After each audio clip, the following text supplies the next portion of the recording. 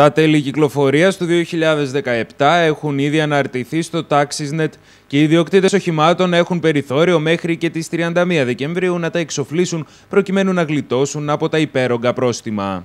Όπως κάθε χρόνο, έτσι και φέτος αναμένεται να δημιουργηθεί το αδιαχώρητο στις κατατόπους εφορίες από ιδιοκτήτες οχημάτων, οι οποίοι θα σπεύσουν να καταθέσουν τις πινακίδες κυκλοφορίας των οχημάτων τους, προκειμένου να γλιτώσουν από τα υπερβολικά τέλη κυκλοφορίας, τα υπέρογκα τεκμήρια, αλλά και τον παράλογο φόρο πολυτελούς διαβίωσης που επιβάλλεται σε οχήματα με κινητήρες από 1929 κυβικά και άνω με ηλικία έως 10 έτη. Σε περίπτωση τώρα που δοθεί παράταση για την καταβολή των τελών κυκλοφορίας του 2017, τότε αντίστοιχα παρατείνεται και ο χρόνος κατάθεσης των πινακίδων κυκλοφορίας μέχρι την εκπνοή της καταβολής των τελών κυκλοφορίας. Φέτος, παρά τις εξαγγελίες τελεχών του Οικονομικού Επιτελείου, δεν άλλαξε σχεδόν τίποτα στα ποσά των τελών κυκλοφορίας του 2017, εκτός από εκείνα που αφορούν τα εισαγόμενα μεταχειρισμένα γιοταχή, ενώ επίσης αμετάβλητα παραμένουν τόσο τα τεκμήρια όσο και ο φόρος πολυτελούς διαβίωσης, με αποτέλεσμα να είναι πιθανή μια νέα έκρηξη κατάθεσης πινακίδων από ιδιοκτήτες οχημάτων για να γλιτώσουν από την τσιμπίδα της εφορίας.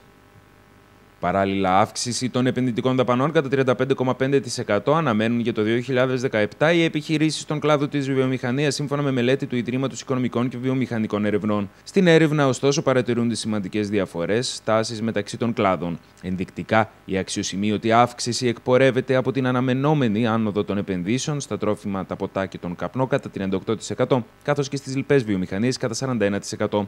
Στους υπόλοιπους κλάδους αναμένεται μείωση της επενδυτικής δαπάνης, η οποία φτάνει στο 20 26% στον κλάδο της κλωστοϊφαντουργίας. Στα χημικά επίσης προβλέπεται μείωση στην επενδυτική δραστηριότητα κατά 16%, όπως επίσης και στα μη μεταλλικά ορυκτά.